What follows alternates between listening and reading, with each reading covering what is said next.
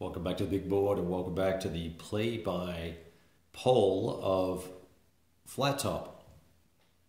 Holding the camera in my hands at the moment because I can't find my stand. Uh, I think I'm using it to play the magazine game Unconditional Surrender Case Blue.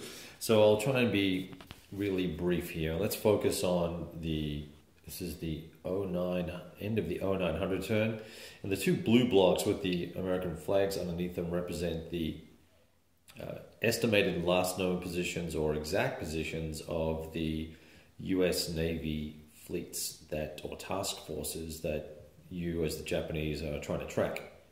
And that MAVIS over on the left there near the compass rose is uh, uh, staying in touch with the uh, what ostensibly is Task Force One.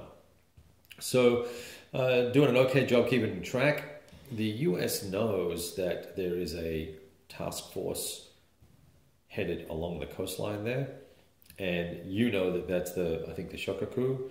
So uh, we do want to get some further confirmation, or the the the non-player team, the US team, uh, will be seeking further confirmation of you know that uh, group of ships, that task force, and that's what those two aircraft that you see on the right there are, uh, are headed to do.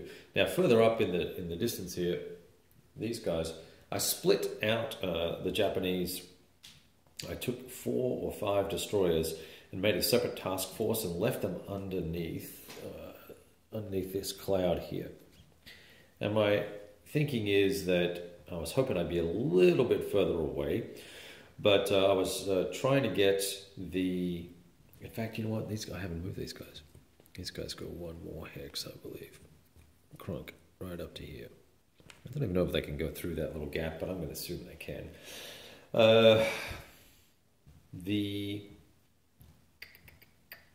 they're probably going to get spotted by the radar, but crap, I'll have to check that out. All right, maybe they'll go the other way. What I was trying to do was leave a decoy force behind under the cloud to attract the attention of the US forces here for you.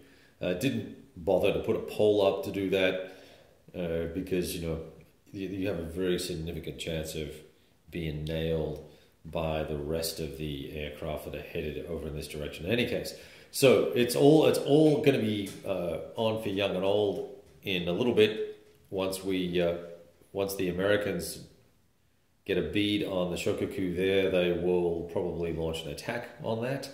And Shokaku is fairly lightly defended.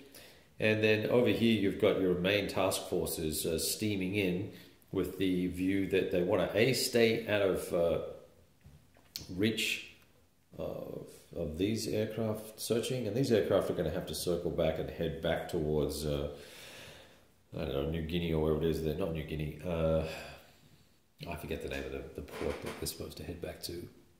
Uh, but in any case, they're headed back that way at some point. Uh, so they're just trying to eke out a uh, a few more turns of closing over here so that they can try and launch an attack against the Task Force 1. Um, Shokaku probably could do a preemptive attack, but I, have got to have a, a, look at the available forces to see if they can really make a dent and see if it's worthwhile trying to do that or uh, or husband, husbanding resources for for the attack that will eventually come.